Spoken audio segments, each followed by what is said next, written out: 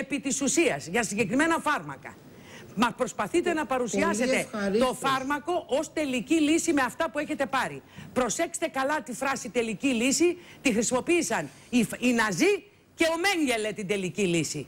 Για να Αυτή σας τη από ό,τι στιγμή ακούω υπάρχει τώρα. κόσμος έξω και που, εσείς δεν από ό,τι έχει, ακούω τώρα. που δεν έχει φάρμακο, που όταν θα το πάρει θα το πάρει με τεράστια καθυστέρηση. Πού το ψάχνει και πάτε να το αντιμετωπίσετε με μία ψιλικατζίδικη τάχα μου δήθεν ε, αντίληψη περί δραστικής ουσίας φαρμάκων. Τα καταφέρατε με τους φαρμακοποιούς με τα 11.000.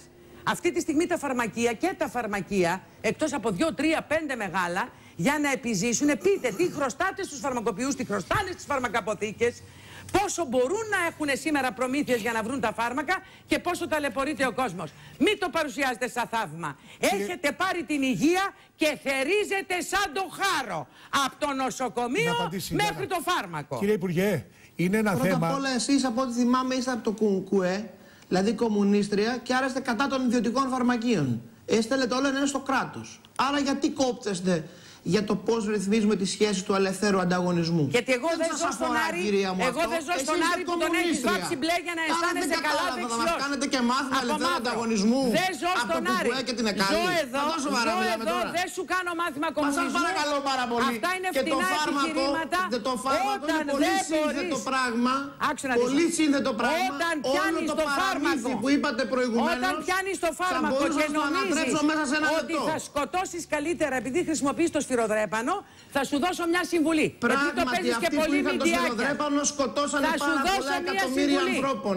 Όταν δεν Αυτός μπο- που έχετε δεν άγαλμα ακού- εκεί, δεν ο αφήνεις Στάλιν, να μιλήσει έχει άλλος. σκοτώσει καμιά τριανταριά εκατομμύρια. Νομίζεις και του ότι έχετε και άγαλμα, κάνεις κυρία εξυπνάδες Κανέλη. τώρα. Θες Άρα να όχι ακούσεις. σε μένα αυτά, εκεί που σας παίρνεις Δεν άλλους. θες να όχι σε ακούσεις. μένα. Θες να ακούσεις αφού Ναι, σε και εσύ παίρνει. να μου πείτε για το Στάλιν που έχετε Αφού σε άγαλμα και παίρνει, έχετε 30 θα εκατομμύρια σου νεκρούς. απαντήσω. Και θα μας Άμα κάνετε και μαθήματα. Όποιος δεν έχει επιχειρήματα για το σήμερα και είναι Εντάξει. σημερινός φωνιάς, χρησιμοποιεί την ιστορία Πείτε μας για για να τον την παλιό φωνιά δικαιολογηθεί. εσείς που λατρεύετε και αφήστε τους σημερινούς. Για τον Α- παλιό θα μας πείτε άκουσε κάτι. με, άκουσε με, Ναι. το τι λατρεύω Ξέρετε εγώ πόσες δεν είναι εκατοντάδες συνάρτηση με χιλιάδων το ποιους Ελλήνων σκοτώνεις εκτόπισε εσύ σήμερα. κάτω με την στην κεντρική πολιτική σου. Ασία ο Στάλιν και του Καμία είχε και σημασία άγαλμα. δεν έχει.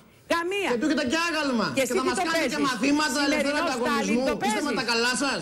Και εσύ τι το παίζεις δηλαδή, Στάλιν; Εγώ, εσείς είστε με τον Στάλιν. εγώ Εσύ δεν τι με τον το Στάλιν. παίζεις σήμερα, Εσείς δηλαδή; είστε με τον Στάλιν. Σωτηράς. Και δεν καταλαβαίνω με ποιο Σωτήρας το θράσος παίζεις. Βγαίνετε και μιλάτε Που στην γύρισες τηλεόραση. και είπες πριν Είστε σε το μόνος άκουγα. κομμουνιστικό Είναι κόμμα στην εκπαιδευμένη η Ευρώπη. γυναίκα μου να Σας γεννάει. βλέπουν απ' έξω Δηλαδή στους σαν να είναι κάτι ανεκπαίδευτες δεν folklore, δίνεται κάτι επίδομα. γραφικό. Άντε μωρέ από εκεί πέρα. Άντε μωρέ από εκεί Κύριε πέρα. Υπουργέ. Άντε μωρέ από εκεί πέρα. Πάμε, Κύριε Υπουργέ, για- Ύφος τώρα. Κύριε Υπουργέ, Ύφος. κύριε- Σε μένα δεν θα έχετε ύφος, κυρία Κανέλη. Αυτά Πέφτεις, σε άλλους. κοιμάσαι, Όχι σε μένα. ξυπνάς ένα Στάλιν Σε μένα έχεις. ύφος όχι. Στην πλάτη σου, στα σεντόνια, στο μαξιλάρι σου, στα σκέλια σου, ένα Στάλιν έχεις.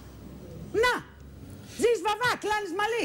Στάλιν θέλετε- ακούς, αν κάθε φορά θέλετε- που έχεις πρόβλημα, κουβαλάς ένα Στάλιν για να τα Αν βγάλεις θέλετε πέρα. να μου κάνετε μια πολιτισμένη Όσο τον ερώτηση φοβάσαι, θα ζει. για να σας Να εξηγήσω είσαι σίγουρος γι' αυτό. αν έχετε μια απορία, πολύ ευχαρίστως. Κύριε Υπουργέ, Αν Απορία θέλετε δεν να έχω μου καμία. πουλήσετε ύφος από τους κομμουνιστές, εγώ ύφος δεν Απορία δέχομαι. δεν έχω καμία. Καταλάβατε; Με Παρα- σένα απορία είσαι Έτσι, λιμένο. παρακαλώ. Λιμένο πρόβλημα. Κυρία Ξέρω Κανέλη, ποιος κυρία είσαι. Δεν Κανέλη, χρειάζομαι αν- να λύσω με- καμία Με απορία. βάση αυτό που είπε η κυρία